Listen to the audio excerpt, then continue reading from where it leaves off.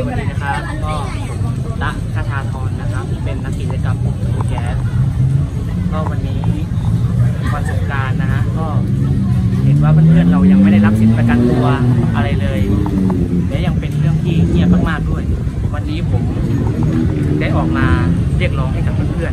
ๆให้ทุกคนที่ออกมาเล่สงการจะได้รับรู้ว่ายังมีผู้ต้องขังทาง ที่ยังไม่ได้รับสิทธิประกันตัวนั้นอยู่ข้างในเรือนจำแต่จริงๆแล้ว ก็ก็ได้รับเสียงตอบรับที่ดีครับผมมีทั้งคนมาก่อน คนปะแป้งคนฉีดน้ำใสซึ่งเป็นอะไรที่ดีมากๆเลยครับผมก็หากหากยังไม่ไรเพื่อนๆเรายังไม่ได้รับสิทธิประกันตัวอย่างนี้ก็จะมีกิจกรรมนี้ขึ้นออกขึ้นมาเรื่อยๆ การที่ทำการที่เราทำให้ทุกคนได้รับรู้ว่านักต่อสู้ทางการเมืองไม่ใช่อาชญากรนั้นมันเป็นเรื่องที่สมควรจะ ทำกันครับ ซึ่งมันเป็นเอาง่ายๆคือเรื่องการเมืองตอนเนี้ย มันก็มีฝั่งที่คนไม่ค่อยสนใจครับคนที่สนใจ ซึ่งวันนี้ก็ได้เจอหลายคนครับ บางคนก็ไม่ชอบบางคนก็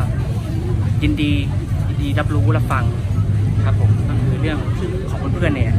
ในเรือนจำเนี่ย มันเป็นเรื่องที่เงียบไม่ได้ครับผมมันเป็นเรื่องที่เราต้องพูดถึง ไม่ว่าจะ ทางไหนครับผมเราสามารถทำอะไรได้เราต้องรีบทำในฐานะที่เราเป็นนักกิจกรรม นักต่อสู้ทางการเมืองเราก็ต้องทำครับ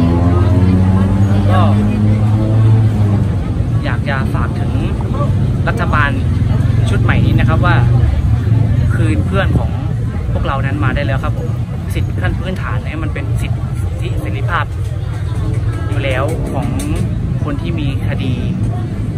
คือเราทุกคนมีสิทธิ์ที่จะได้ประกันตัวออกมาต่อสู้คดี ผิดไม่ผิดก็ให้เขาได้ออกมาต่อสู้คดีครับ ไม่ใช่ให้เขาไม่ค่อยขัง